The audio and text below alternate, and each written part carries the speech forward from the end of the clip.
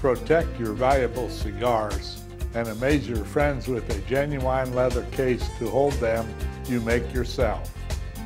In this video, we will show how to design and construct a top quality case to hold your cigars in grand style. You can decorate them and personalize them as you would any other leathercraft project.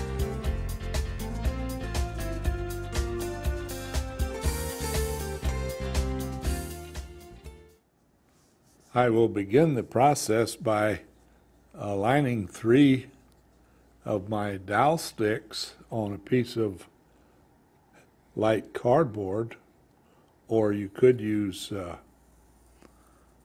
heavy paper, and I'll trace around it with a pencil.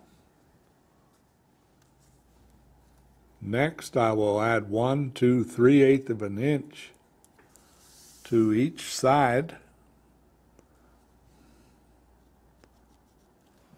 And that will make us then about uh, uh,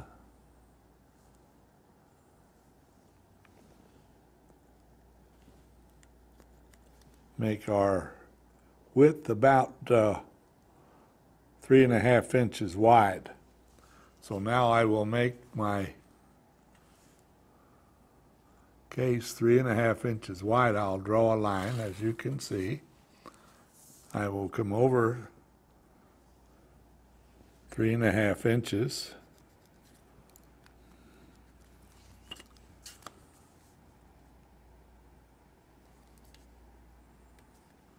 And I will draw another line.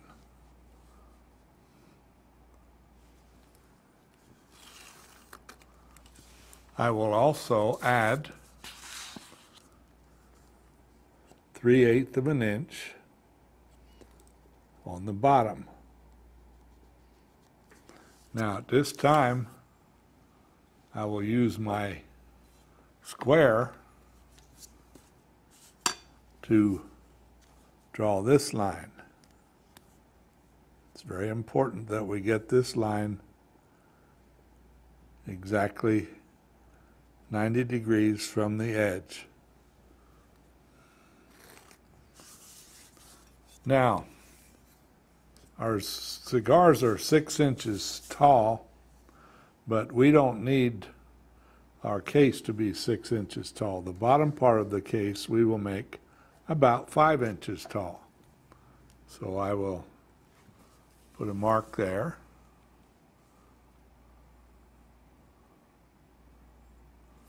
And a mark here. Now I will draw another line between those two.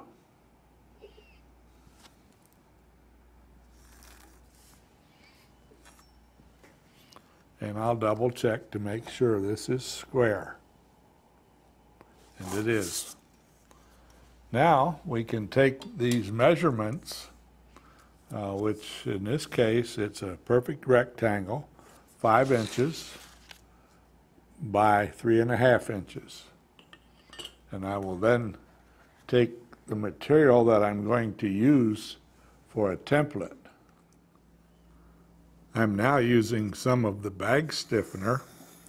I like to use this for cutting templates because it's quite durable and it's easy to work with.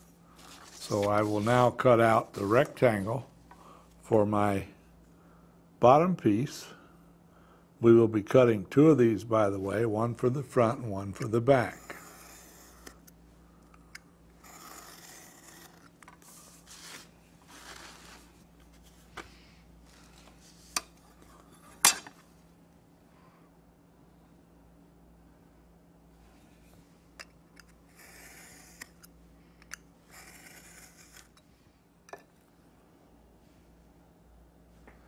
Next, I will use a circle template and with the one and a half inch circle, I will draw an arc on the bottom, as you can see, and I will do that on the bottom only.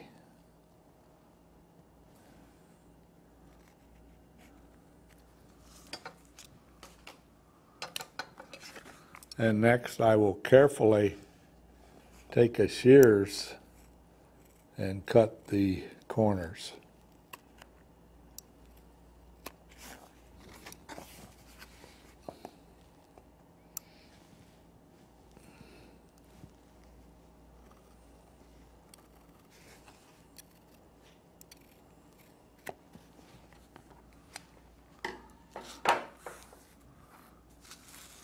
And now we're ready to cut leather for the front part. And now we are ready to cut the parts for the bottom section of our case. Next, I will cut another template, which is exactly one half inches wider than the bottom part and the same height, then this will become the cover or the top part. Next, we will cut leather. I'm going to use the template that we made, and I will place it carefully on the leather and with my scratch awl, I will carefully trace around the outside of our template.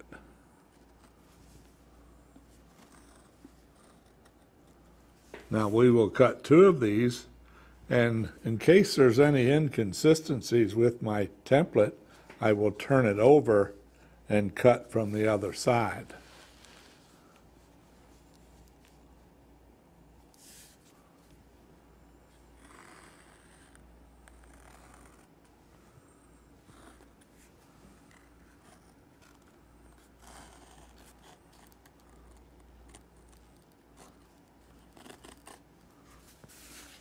And now we can cut our leather. I, I always like to use a uh, straight edge whenever I can.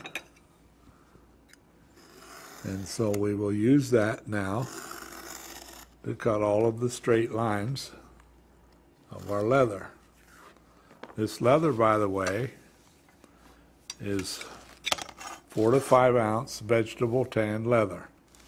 It's uh, important to use vegetable tan leather because later we will be forming this when it's wet.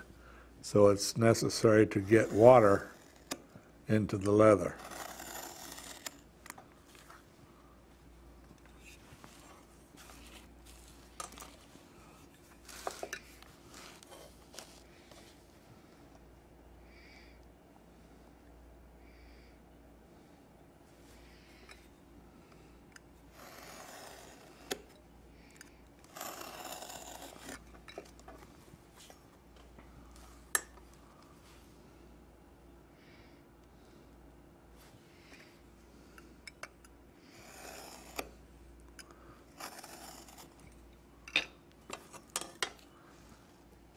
Even though I have traced the corners on the leather, we will not cut them at this time.